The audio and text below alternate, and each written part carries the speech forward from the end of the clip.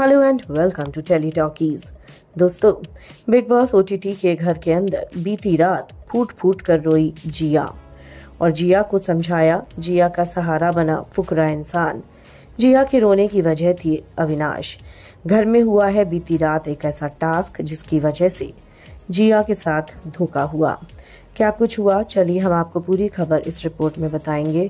लेकिन उससे पहले आप चैनल को ज़रूर सब्सक्राइब करें और बेल आइकन को भी आप ज़रूर दबा दें। दोस्तों बिग बॉस ओटीटी के घर के अंदर बीती रात जिया शंकर काफ़ी ज़्यादा रोती हुई और अपसेट नज़र आई। घर में कोई बजर टास्क हुआ है, जिसमें अविनाश ने जिया का साथ नहीं दिया और जिया के साथ कुछ गलत हुआ है। यहाँ पर पूजा भट्ट ने भी जिया शंकर का साथ नहीं दिया, जिस वजह से जिया काफ़ी ज़्यादा रो रही थी और यहाँ पर फुकरा इंसान जिया को समझा रहा था। अभिषेक ने जिया को समझाते हुए ये कहा कि देख, तेरे साथ जो कुछ भी हुआ, अगर वो सोची समझी साजिश थी तो तू समझ जा कि यहाँ पे तेरा कोई नहीं है, तेरा दोस्त कौन है और दुश्मन कौन है।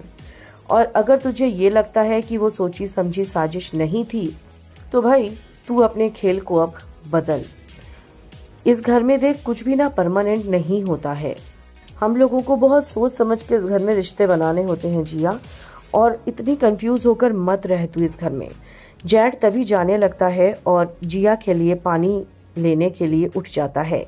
लेकिन जिया का हाथ पक, उसका हाथ पकड़ती है और उसे रोक देती है और बैठा देती है।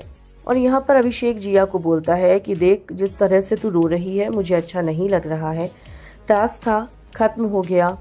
अब अपनी आगे की स्ट्रैटेजी को स्ट्रॉन्ग रख और इस घर में जो भी हो रहा है, किसी भी बात को दिल के मत लगा।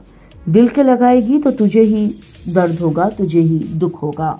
लेकिन जिया रोना बंद नहीं करती है। लगता है, मानो जिया को काफ़ी ज़्यादा हर्ट हुआ है। शायद जिया को ये उम्मीद नहीं थी कि उसके साथ कोई ऐसे भी कर सकता है, और स्पेशली अविनाश।